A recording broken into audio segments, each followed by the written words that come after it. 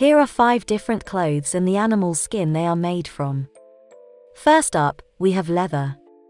Leather is a durable and versatile material that has been used for thousands of years to make everything from shoes to jackets. It's typically made from the skin of cows, but it can also be made from the skin of other animals like sheep, goats, and pigs. Next, we have fur. Fur is a luxurious and warm material that has been used for clothing for centuries. It's typically made from the skin of animals like mink, foxes, and rabbits. However, the use of fur has become controversial in recent years due to concerns about animal welfare. Third on our list is snakeskin. Snakeskin is a popular material for accessories like purses and shoes. It's typically made from the skin of snakes like pythons and cobras.